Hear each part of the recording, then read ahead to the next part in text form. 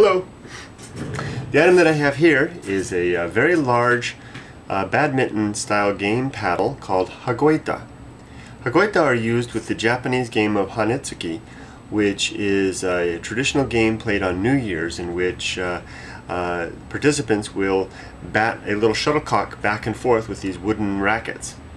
This is a particularly large one and it has in fact been uh, used in the past.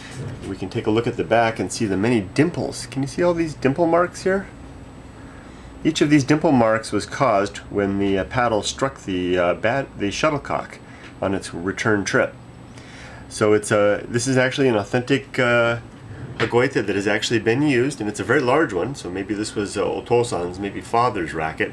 The game is especially popular with uh, young girls, and like I said, it's a, a, game that is commonly played on New Year's. Um, although it's not seen that often anymore, it was very popular in old Japan.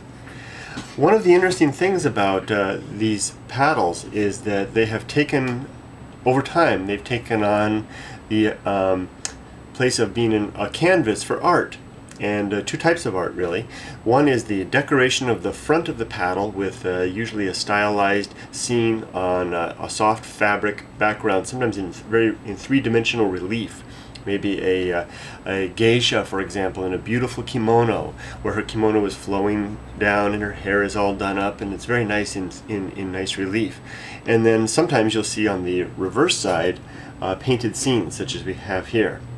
Uh, this Hagoita has uh, both elements. Um, it's rather unusual as we have uh, this dramatic scene of a uh, samurai. Uh, I don't see samurai Hagoita as much as I see uh, beautiful women Hagoita, so this is rather special.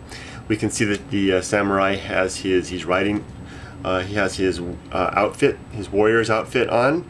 He's, um, he's, got, he's all done up for action, and a horse can be seen behind him. Let's take a close-up look here.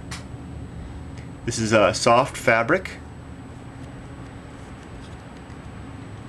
There are some stains and marks on the piece. You can see some stains here along the face, but I think that these uh, stains and marks tend to heighten the effect and give it uh, the uh, um, appearance of age and past use. And you can see the uh, maker's uh, mark here. Here's a red stamp here, which was probably the stamp of the maker. Um, on the back of the of the Hagoita, there's a beautiful painted scene. Oh, there's the dimples. They're showing up very nicely now. A beautiful painted scene of uh, uh, uh, cranes uh, rising above, excuse me, a, a wetland with uh, hills and trees in the background. Let's see if we can get closer on that. Please take a look at the uh, detailed listing photos for more close-up shots. The Hagoita is in good shape.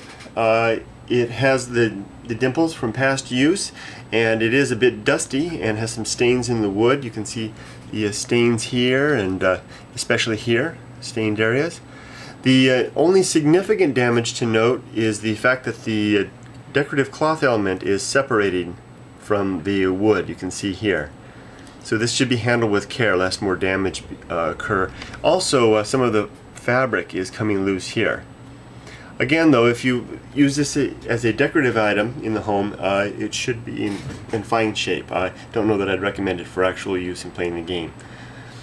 Well, thank you very much for uh, dropping by to have a look at this very interesting item. I'll get back to my uh, virtual uh, uh game playing, and uh, please let us know if you have any questions. Take care. Bye-bye.